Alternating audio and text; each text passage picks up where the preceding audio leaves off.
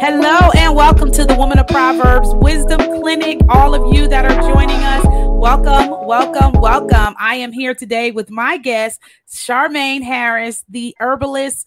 I always get this wrong. The International Holistic Herbalist Coach.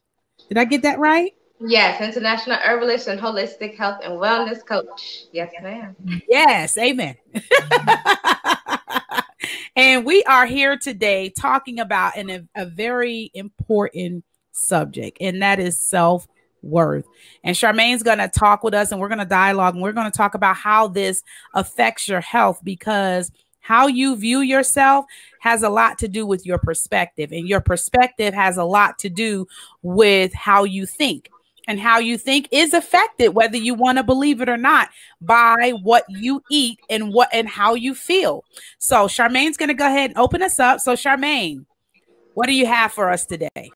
Well hello hello mr dear thank you for having me. And i definitely want to elaborate on what you were saying because the thing about health is like you know and that's why i'm a holistic health and wellness coach because the biggest thing about that is you want to understand yourself worth and that starts you know mm-hmm. mentally mm-hmm. and the mm-hmm. biggest thing about it is how we like you said how we look at ourselves how we perceive ourselves things like that you know that is super important because it it affects us it if we if we lack self-worth then you get anxiety you can get things like anxiety depression you know things like that especially if you are in a toxic and anxiety and depression and things like that that actually causes lots of um things such as you know your internal you know internal chaos to your to your to your gut and things like that. So it's definitely important to make sure that you know yourself worth and understand. And that's what i'm here to do just kind of basically walk um, people through that process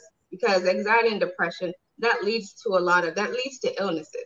You know that leads to illnesses whether people know it or not things like that. So that's super important. But Thank you. And if you are catching this live, like I always say, you're supposed to be here. Make sure you have a pen and paper because I'm going to give you some really valuable information. So please ensure that you get yourself ready because it's going to be a super exciting night. All right.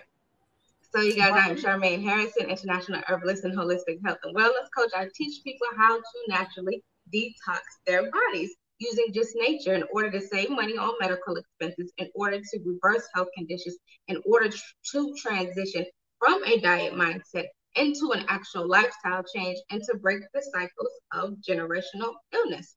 So I do hope that resonates with someone. And as I go into this very, you know, broad topic of, uh, you know, self-worth and, and us ladies and men taking care of themselves and physically, mentally, emotionally, and, and spiritually. You know, I um specifically named this topic self worth because that's exactly what we're going into. Um, I'm going to be showing you some like holistic practices that as um like again, especially as women, that we can implement to be able to upgrade our health and wellness naturally. Okay, so from a holistic practice, I found that um, simply changing what we're consuming is not the answer on a day-to-day basis. That that's just simply not it. Because you may look better on the outside, but internally, you know, you you you might be struggling with some things, you know, mentally, you know, and, and most people think, oh, I look good on the outside, I got this self-confidence, you know, I'm I'm I'm good to go. You you know, you don't have any worries. And I kind of was in that mindset um a few years ago. You know, I was serving in the military, you know, I, I was in I was in shape, you know, the first few years and um I was just like, you know, well, I'm good to go. My confidence up here, but it really wasn't. In all reality, it really wasn't. And um, prior to a physical transformation, you have to make sure that you go into the mental transformation first. So when I explain things like um the things that we're consuming on a day-to-day basis, it's not just um the things that we're eating. So it's the things that we listen to, the people that we are around, it's the TV, the music, the energy. Everything that we do begins internally and it begins in a state of mind. And if we we and we have to dig a little bit deeper than just simply making a decision to physically look better, okay? Because that is super important, okay? So for example, someone, you know, they can make a decision to go get surgery, right? So they go get surgery done, they come out of surgery after a few weeks, and they're feeling good for the moment. So that's an example. But are you really going to have the mindset to be able to sustain how, you know, the way you look? Because your habits and your mindset are slowly going to kind of draw you back. And then you're going to kind of get to a point where you're like, well, you know, I'm not, I'm still not good enough. You know, you're going to kind of get to a point where you feel like you need more you know, okay, well, I got this done. Well, I need more. I need more. It kind of gets addictive after a while, but you're changing how you look, you know, externally, but internally, that's where a lot of stuff needs to happen. Okay. So it's just like if someone wins the lottery, you know, they win the lottery and you hear about stories about people that win the lottery and they're broke like after two months. You're like, how? How? And it's because, again, they don't have that mindset to be able to um, sustain that wealth you know so a lot of things go back to mindset and we often have to take in consideration you know the person as a whole when it comes to like holistic health and wellness. And it goes hand in hand. You have social factors you have environmental factors you have physical factors you have spiritual factors mental factors emotional factors you know if we count all five components of holistic health and wellness you know.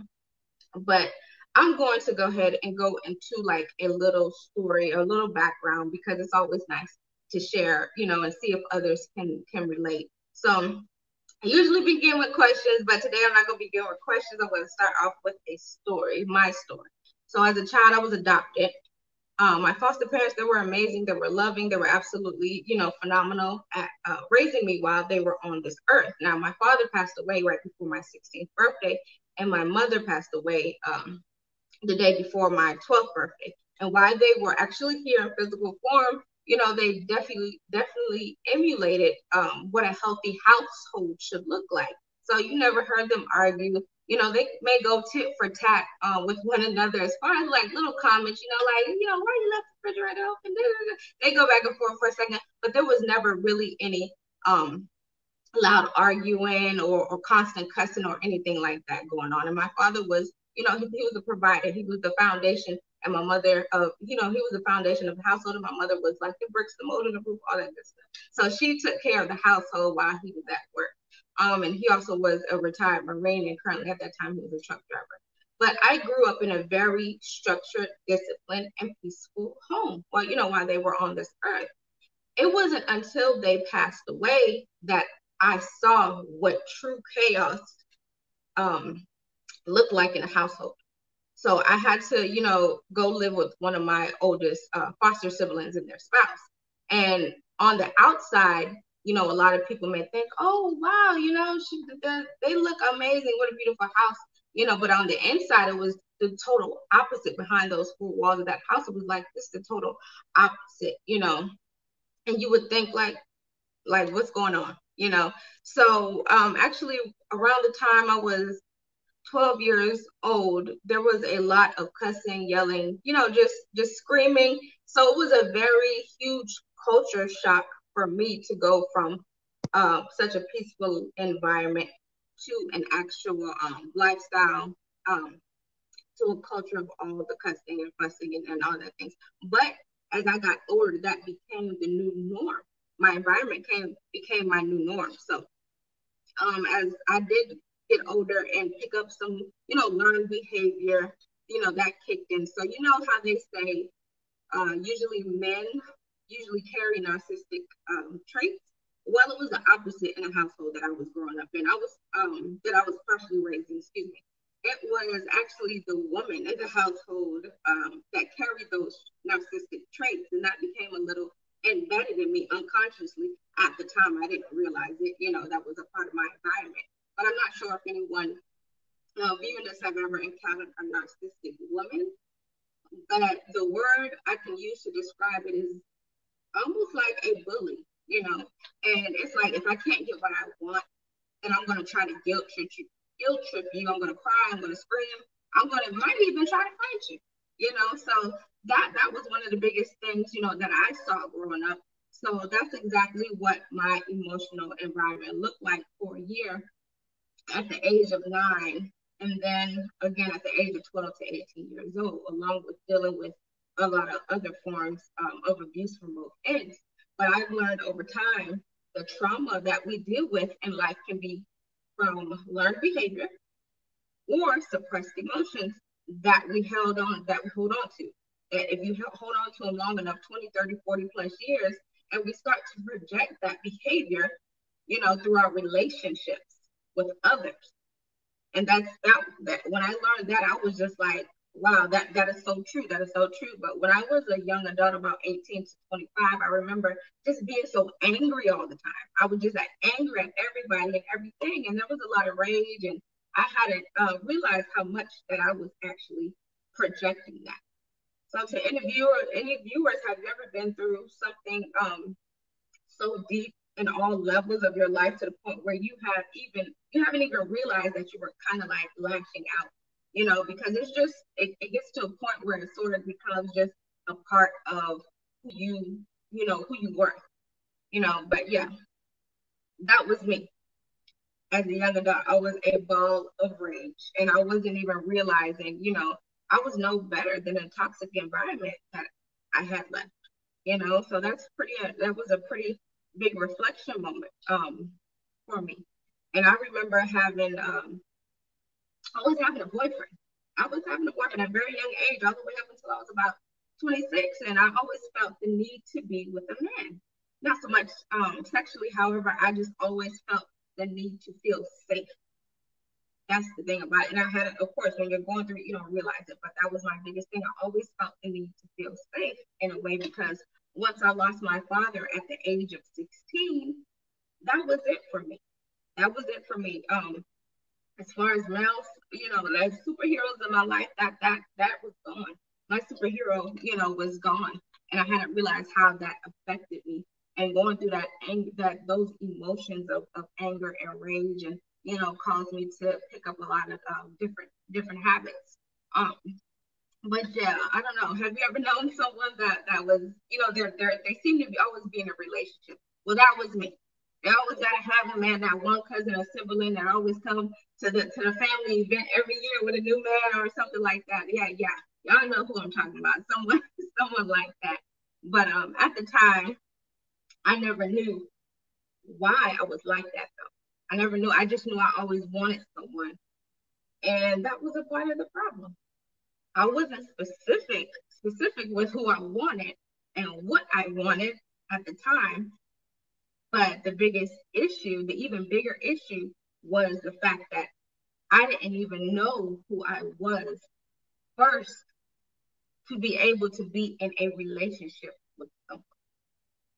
And that's the biggest thing the relationship with yourself, I didn't know was the most important.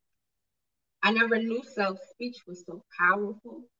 I was going around singing all types of I'm the baddest B lyrics and all this crazy stuff.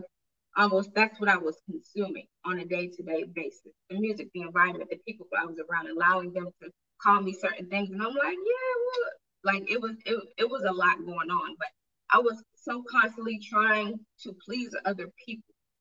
And that was another big thing. I was always trying to please someone else to the point where I neglected myself, but I didn't know what I was doing at the time. I neglected myself. And yes, I stayed physically well kept. However, I didn't realize on the inside that I was so hurt. And I was using basically um, my body as a storage space for all those emotions until there was no more space. And then I would just lash out. Just enough, though. I wouldn't lash all the way out, but just enough, you know, to, to some of the storage come out, but it's still full of emotion. So that's that that was me you know, um, that was me.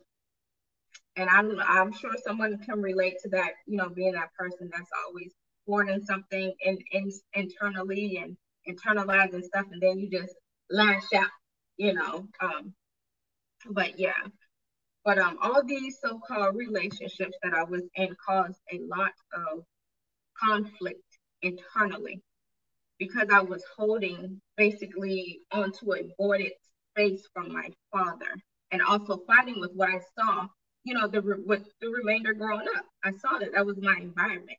You know, I found myself, even though, you know, I was raised up with a very narcissistic sibling, um, I found myself often submissive, doing the opposite. I was very submissive.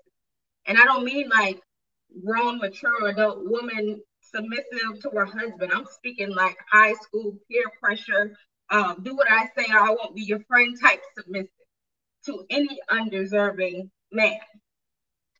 And um, I hadn't realized what I was doing to my mind. I didn't realize what I was doing to my body or my spirit. And the emotions were so deep when I went through like my longest um, healing period, even when I went through my longest healing period of like uh, three years at the age of 26, you know, healing healing is a journey. That's not something that's something that we constantly do. But that mainly opened up my eyes to dealing with the childhood trauma and my focus on where I wanted to be in my life, but specifically healing, you know, uh, for lack of with healing from the lack of self-esteem that I was dealing with. And I hadn't channeled that at the time. Even when I was going through that process, I, I hadn't channeled that at the time. I didn't even know it existed. So um, I'm not sure if anybody have ever heard of the term soul ties or, or womb healing, but overall, it's the belief that um, after you um, sexually engage with someone, that you're spiritually connected to them um, through the exchanging of energy. Yeah, that, that's deep. But whether that energy is negative, depressing, anxiety, shows through stress, trauma, trauma, things like that. So basically, um, how many of you guys have ever like slept with someone and afterwards you had like a dream about them? Maybe it's the same night later on that night, years, months down the line. That's what that is. That's called a soul tie, exchanging of energies. But there are various soul ties, but usually um, sexual is the most common one. And I knew nothing about this until maybe a few years ago.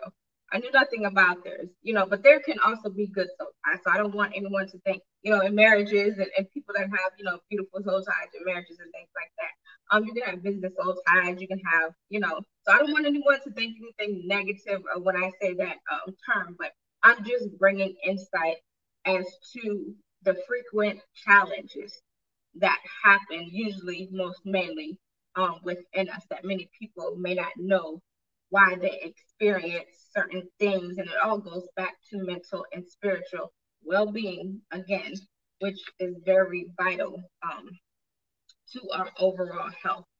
And but knowing that that I had may have had um, some soul ties going on, um, that brought enough awareness to me actually to begin um, my practice of abstinence or you know um, just going on a, a, a, fast. But the benefits that I've experienced uh, going through this process were it is allowed it has uh, it has allowed me to get to know who I really am, what I truly want, identifying red flags super easy, like super early if I'm going, you know, going to the talking stage with someone and to be able to be okay with releasing that person early on during the talking phase. You know, if if I need it, if my energy, if my, you know, peace became disrupted. Okay. So, you know, I get to shift my focus and energy on what's truly important in life. And it has allowed me to see what um also what a true healthy connection um, looks like with others, within other people relationships. So, you know, to really see it and you're like, oh, wow, that, that's beautiful, you know. So, you know, we go through things in life and we just kind of, oh, I'm never going to be in a relationship again. I'm never going to do this. I'm like, we're always saying that stuff. But no, that's not what um, being abstinent for me is about. That's, that's not, that's actually the opposite of what it's about. It's, a, it's about, you know, so when I'm able to get back into, you know, um, relationships that I'm able to actually just go ahead and um, have that energy and go ahead and just focus on what's really important, you know. And I know when you're married, you're definitely, you know, not trying to hear that word abstinent, of course, but that particular portion of this message was definitely for those who are, you know, single and looking for closure, if you're questioning your self worth, or even if you're married or your spouse or something has cheated. But there, you know, there's nothing wrong with having a period of that, you know, when you're trying to find your way back to one another, the way back with one another. So that's super important. And I know, like I said, you know, but you, but through that process, you gain so much clarity. without, you know, clouded judgment, without all those things, you know. Now I mentioned mentioned um, earlier about womb healing, which goes basically hand in hand with releasing um, soul ties. But this is definitely for all, you know, this is for all the ladies, all, all women um, being able to, because we, we do things like, you know, we carry babies, and that's super important. You know, single and married babies or no, no babies, actually. Womb healing can be done. It's basically a deep guided um, dive into your womb and unveiling the hurt and pain that we as women often um, carry down to bringing a life into this world because our wombs have been a sacred space. Definitely been a sacred space, but they also need to be cleared so that we're able to regain a true self, a true sense of self, or you know, self freedom, basically. Um, but great ways to practice womb healing is through what we consume. You know, um, if we are having menstrual cramps that's on a thousand, you should definitely change what you are consuming and have consumed, you know, and consume more from the earth. Um, if you're one of those women, women that that are constantly emotionally dysfunctional, and then you know, because you know, internally that that does affect us internally. You know, you have to look at um look at it from a hormone imbal- imbalance point of view, okay? And that comes from lack of care um, and gut health and working on shifting your energy through something that you love to do. Parasites play a huge role in how we think, um, the things that we crave, crave, how much waste we carry in our bodies, which goes to my next point. Um, Self care plays a huge role in our health. And I'm not just speaking physically because if you take the time to actually take care of yourself mentally, um, socially, and emotionally, then it will naturally show, it will naturally reflect. Okay. And I know that as a woman, we wear a million hats and we are tired all the time. But listen, go find some time to get it done. It's super important. You want to look good, you want to feel good, but that starts mentally, you know. And even in my online program, Heal by Nature, I work mainly with women. However, I have been able to help um, other women all over the world. I know I uh, helped this young lady, um, well, she was an older woman in India. And she, I think she hadn't had a menstrual cycle or she was irregular or something for like 20 years. And um, I was able to get her her menstrual cycle together, so she was able to have a, another baby. She wanted to bring another, you know, human being into this world. So I was able to get her on another track through my herbal practice and holistic method that I actually teach in my course. But um, and I also I worked with a young lady who had twins, and she was just so ecstatic, and she's like, "Oh my God, you know, I give you a five star review because when she went through my program, um, she was basically have easily to have um, access through a lot of different things as far as um, my, my herbal program. So I gave her a lot of stuff that she was actually going to go ahead and become uh, familiar with and be able to introduce to her family. So basically, with the family affair was awesome. Um, meditation is a part of womb healing and if you are not the best at shifting your focus, then you know you may want to go through an extensive detox uh, program, such as the one I give, to be able to release that waste out of the body first, and then you want to start practicing um, the guided meditation because it is a practice and it does take some time to really hone in on. Um, also, as a woman, we go through a lot, and there's a lot of uh, peer pressure on us daily you know, and I, I understand, you know, I understand it. I definitely do. Um, I'm here for you. But uh, if we can just get ourselves to a point where we are able to get a solid foundation for the areas holistically in our health, you know, physical, spiritual, mental, and social, I think we'll be pretty much um, set to go. But definitely start with daily affirmations. You want to um, look at yourself in the mirror every day and tell yourself all the great things about Talk, to yourself. And it sounds crazy. We're talking about no. Look in the mirror and really do it. I'm beautiful. I am. You know, you you gotta say these affirmations, and that that helps too because you know write them down, put them on post-it notes, stick them all over your house, stick them in your car. These affirmations that you want to say say about yourself, positive, beautiful affirmations. Turn on some motivational audio loud, blast it from ear to ear. Realize that you know right now if you're struggling mentally, um, that it's not forever. You know, so so if you want to work out, and then this is another thing, if you want to work out with your single mom, you know, or your husband's at work, and you can actually um, put the baby in the stroller and go for a walk at the park. You know, something small like that, or you know, have if they're old enough, have them walk with you. You know, go for a walk at nighttime and before bed.